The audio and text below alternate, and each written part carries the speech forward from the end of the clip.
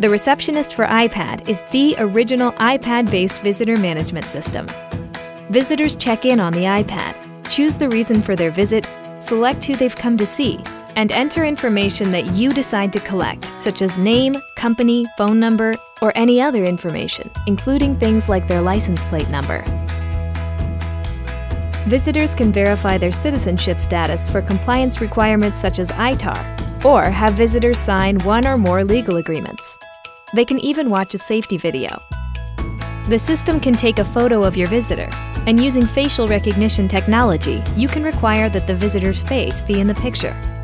The receptionist for iPad will send your employees an arrival notification via text message, email, and or Slack. Using our proprietary two-way communication, your employees can respond directly to the iPad to tell their visitor that they'll be right there. At the end of the check-in process, the system can print out a custom badge for your visitor.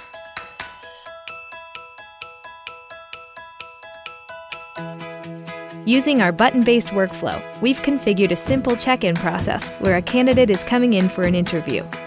This workflow has fewer steps than the first example and doesn't include photo capture, legal agreements, or badge printing. All of this is configurable from our simple-to-use web admin area. Are you ready to implement the easiest-to-use visitor management system?